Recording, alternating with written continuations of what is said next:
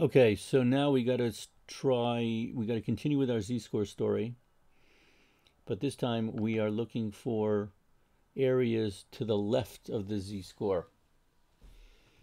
Okay, so let's do the usual now, our new usual, which is this, and the old usual, which is this. And let's start from here. So, here we go with our title. Um, our title is Z-Scores Continued.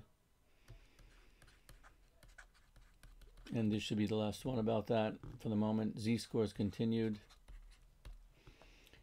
Um, find the area, problem number one. Find the area to the left of the following z-score of z equals z equals 1.95. Okay, 1.95. Okay, to the left. So again, let's visualize this with my one of my terrible graphs here. So the bell over here, whatever. Where's 1.95? Somewhere over here, wherever it is, 1.95. It's positive, it's on the right. But we want everything to the left, left of this. We want this piece, we want this piece, but we want everything else to the left, to the end of time on the left-hand side, to the end. So we said before that this one, each half of this graph is worth 500, 0.500. So what's going to happen over here? We should add them. We should add the two and we'll have our answer. So let's go look up the z-score again. Let's practice that, looking up the z-score. For that, we can go to Google, Chrome, and we've got our list over here that we can look up.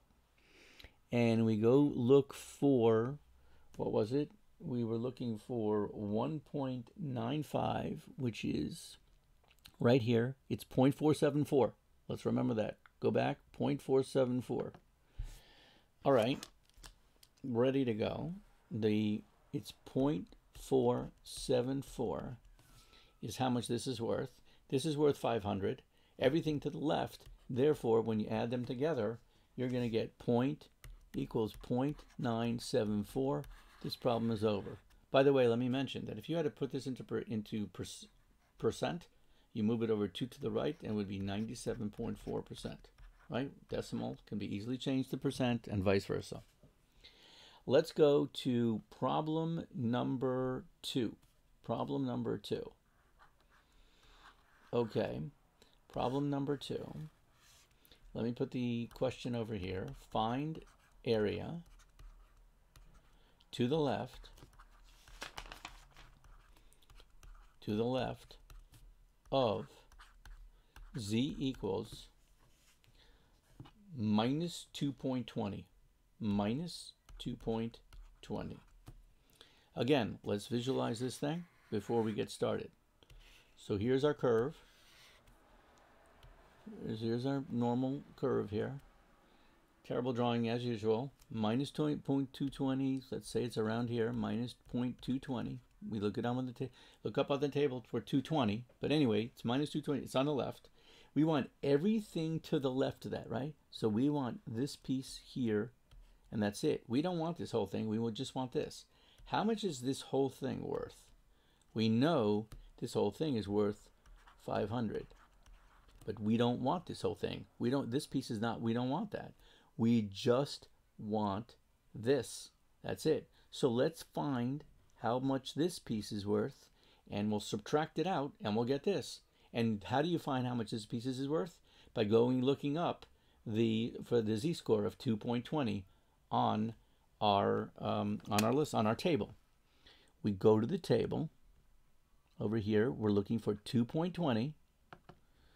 Where are we? Where is it? 2.20 is up there, 0.486.